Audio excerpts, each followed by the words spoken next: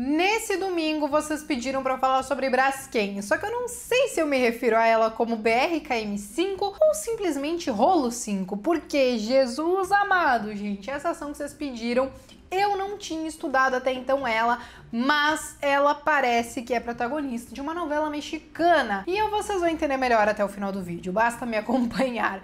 A questão é que, olhando ela agora aqui no meu home broker, no pitch da Clear, o acumulado dela de queda só nesse ano de 2019 é de quase 31%, o que é coisa pra caramba. E eu acho que é por isso mesmo que vocês pediram, porque muitos devem ter pensado, poxa, a empresa caiu tudo isso, será que não é uma oportunidade? E aí eu digo, calma, assista esse vídeo até o final, porque eu vou trazer aí quais são as informações mais relevantes, quais são os capítulos dessa novela mexicana que ela tá vivendo e também os dados financeiros. Sobre os dados financeiros, é muito legal porque todo vídeo de domingo sempre tem um relatório aqui na descrição com demonstrativo de resultado, várias informações bem específicas e relevantes que vocês podem estar acompanhando também, beleza? E aí, gente, vamos lá. Uma coisa bem importante, só para frisar para vocês. O vídeo de domingo é sempre sobre as ações que vocês mais pediram. Eu juro que eu tenho que ler algumas coisas de vez em quando que me dão um aperto no coração, uma vontade de infartar. Do tipo, esses youtubers só falam das ações que eles têm na carteira para depois elas subirem. E aí eu pensei, caramba, gente, não, pelo amor de Deus. Eu já falei de, sei lá, 50 ações aqui no canal, eu só tenho 16 ações na carteira. Não tem nem lógica esse tipo de comentário. Também li comentários do tipo: essas empresas pagam para esses youtubers falarem delas. E aí eu penso: caramba, você acha mesmo que uma empresa pagaria para a gente falar mal em alguns momentos da empresa, porque eu sempre trago tanto dado negativo como positivo.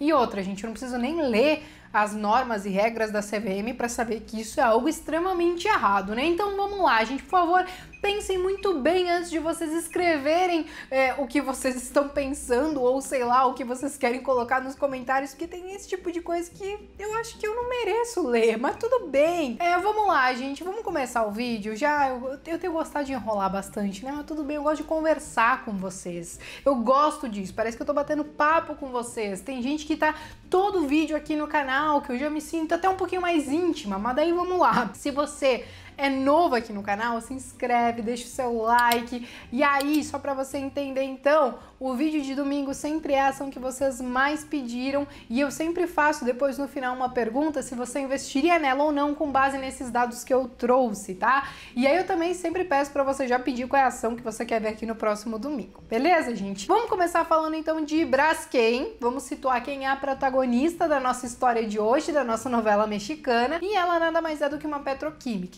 Então, ela produz aí alguns componentes químicos, bem como alguns tipos de plástico. Só para você entender mais ou menos aonde que o produto dela pode ser aplicado. Se você teve ressaca da sua bebedeira de ontem e você teve que tomar algum remédio, provavelmente na embalagem do remédio tinha algum tipo de plástico e esse plástico é um componente que a Braskem produz. Se você pegou o seu carro esse fim de semana para dar um rolê, saiba que ele tem componentes de plástico que a Braskem produz. Se você tá de tênis ou chinelo, modelo Braskem, entendeu? É Braskem, Braskem, Braskem. Enfim, tem várias outras empresas que também fazem esse tipo de produto, mas só para vocês entenderem a aplicabilidade dos plásticos e dos componentes químicos que ela produz.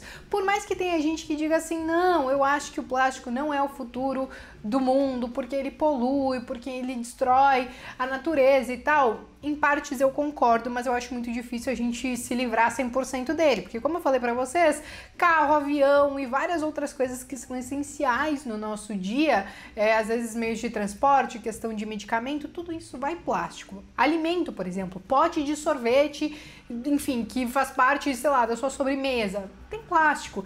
Então, o que pode acontecer é uma transformação dessa matéria-prima como plástico biodegradável, que é algo que já é uma realidade e que a Braskem produz também. Mas aí, beleza, Pensando nisso, é, que enfim, isso é outra discussão sobre meio ambiente, não meio ambiente, mentira.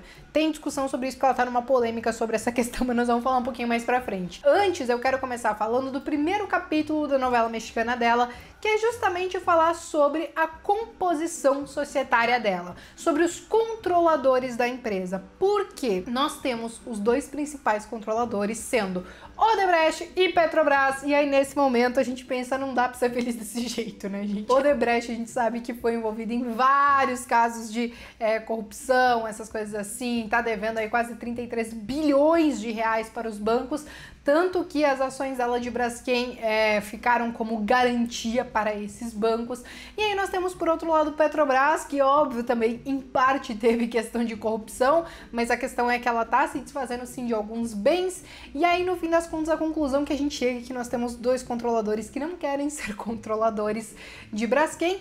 O que talvez, se acontecer de vir alguém querer comprar e tudo mais, poderia ser positivo, Talvez, claro, dependendo de quem for o comprador e quanto vai pagar, se vai pagar o preço justo ou não, mas também justamente para não ficar com essa questão de indefinição, de tipo, a Odebrecht ela sinaliza é, sempre que tá querendo vender, mas não vende, e fica nesse impasse que não é muito legal para ela. Mas beleza. Segundo capítulo dessa novela mexicana. E aí eu acho que é o pior, tá, gente? Porque a gente volta a falar de meio ambiente. Aconteceu em Maceió algumas fissuras em um bairro onde várias famílias tiveram que sair de suas casas porque corriam risco por conta de uma atividade de extração de salgema. Acho que é isso, salgema que a Braskem estava fazendo lá em Maceió. E aí o que, que acontece? Isso foi parar na esfera judicial e aí alguns bens da Braskem foram bloqueados inclusive o dinheiro dos dividendos que ela ia distribuir no início desse ano.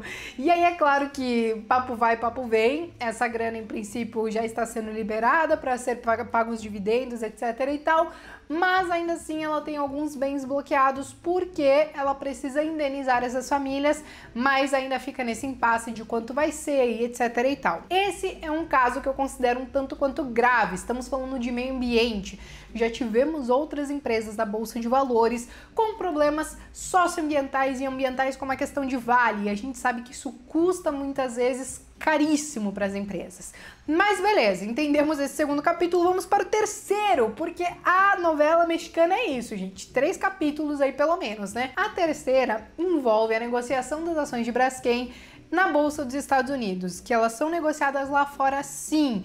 Só que o que, que acontece? Ela precisa entregar um relatório que se chama F20 até o quarto mês depois do fim do ano fiscal dela. E aí o que, que acontece? Esse é um relatório que tem várias informações bem específicas da empresa que são auditadas e tal, que ela precisa entregar. E o que aconteceu? Ela não entregou. Quando chegou lá em março, fevereiro, se eu não me engano, ela já estava avisando que, ó, não consegui apurar tudo que precisava apurar, não vou conseguir entregar esse relatório. E aí a decisão foi que as ações de Braskem seriam interrompidas as negociações lá na bolsa lá fora.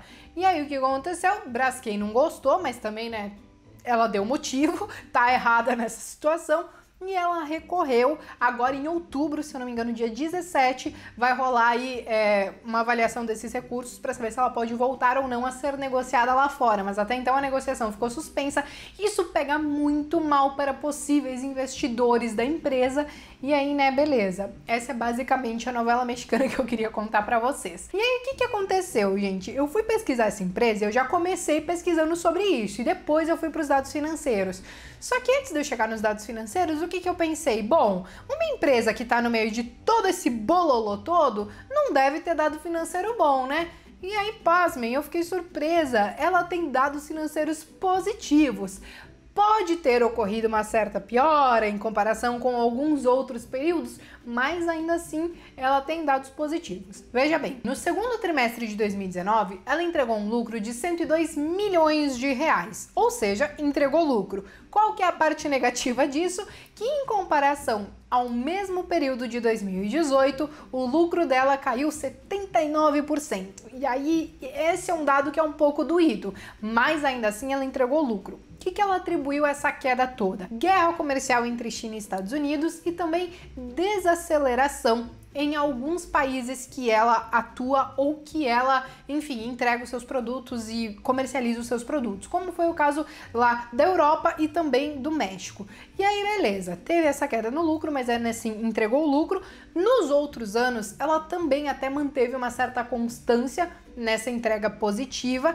E aí a gente parte para a parte da dívida, né? Porque não adianta, ah, beleza, teve essa queda no lucro. E como é que tá a questão da dívida? Isso, né, é importante. Quando a gente olha aquele indicador da dívida pelo EBITDA está em apenas duas vezes, aproximadamente duas vezes. O que a gente considera que é saudável, o que a gente não quer ver acima de 3, 3,5, aí isso começaria a preocupar a gente, mas quando a gente encontra esse indicador em aproximadamente duas vezes, ela não tá tão alavancada assim. Na verdade, ela não está alavancadíssima como muitas pessoas poderiam acreditar mediante tanto rolo que tá acontecendo com ela, né? Mas aí, um dado que acabou me surpreendendo bastante foi justamente o ROI. Eu sempre falo do ROI para vocês porque ele mostra o quanto a empresa está conseguindo retornar sobre o seu patrimônio líquido. E o ROI dela é de 33% ou um pouquinho mais, na verdade, né? Tem os pontinhos, tem uns numerozinhos depois da vírgula, mas todos esses dados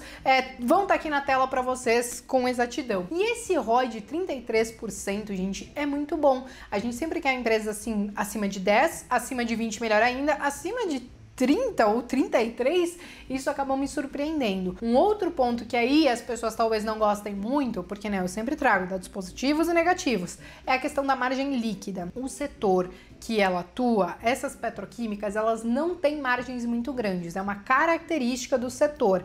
E a margem dela tem aproximadamente 4,7%. Elas têm que se virar com isso. Então, se você escolhe investir nesse setor, você já tem que estar tá sabendo desse tipo de situação, que as margens dificilmente vão ser muito grandes. Mas basicamente, esses são os principais dados quantitativos da empresa, que eu achei que ia encontrar um monte de coisa ruim, tipo tudo negativo, e não, acabei não encontrando, né? No fim das contas, é, eu acho que eu não falei do dividend yield dela, ou seja, dos dividendos que ela paga. Como eu falei para vocês, não teve dado desse último trimestre por conta dos dividendos que estavam bloqueados, mas consultando dados anteriores, ele geralmente fica em torno de 4%, alguma coisa mais ou menos assim, tá? Olhando os dados passados. E aí um último indicador para passar para vocês que vocês sempre me cobram é indicador de preço, né? Porque vocês querem saber, poxa, eu sei que ela já caiu 31%, tá aqui estampado na minha cara, né? Mas será que isso ainda tá barato, tá caro? Para isso a gente acaba olhando o que a gente chama de PL, ou preço dividido pelo lucro. Existe uma regrinha de bolso que diz que um PL acima de 15 a empresa pode começar a estar cara. Só que a gente não pode simplesmente aplicar isso para tudo. O que, que é o ideal? Comparar entre empresas do mesmo setor e também consultar o PL histórico da empresa para saber a que níveis e que patamares ela já negociou para você saber se está barato ou está caro. Mas quando a gente olha o PL de Braskem, então de BRKM5 ou Rolo 5, como eu prefiro chamar, ela está sendo negociada aí em nove vezes aproximadamente, o que a gente poderia considerar ok. E aí, antes que alguns me perguntem, Bea, por que esse número 5 no final? O que, que acontece? Eu já fiz vídeo aqui no canal, se você ainda não viu, quer dizer que você não maratonou o canal ainda para aprender cada vez mais e tirar as suas dúvidas, mas basicamente o número 5, 6 e 7, por exemplo, são classes de ações preferenciais. Então, Braskem ela tá listada aí na bolsa de valores com o nível de governança corporativa sendo o nível 1, então ela tem ações ordinárias e ações preferenciais. E aí as ações preferenciais dela aí, as mais negociadas, levam esse número 5 no final, beleza? E aí, gente, eu acho que eu passei todas as informações que eu precisava nesse domingo para vocês. E aí eu vou fazer aquela clássica pergunta no fim do vídeo. Você investiria em uma empresa que parece que é protagonista de uma novela mexicana que tem controlador metido com corrupção, essas coisas assim? Ou, né, não, você não quer investir ainda que enxergue que ela tem dados positivos, que ela entrega lucro e não é uma empresa é, alavancada. Escreva aqui nos comentários que eu quero saber. Não esqueça de pedir a ação que você quer ver aqui no próximo domingo. Continue aqui no canal maratonando os próximos vídeos. Faça excelentes investimentos essa semana e eu vejo vocês em breve.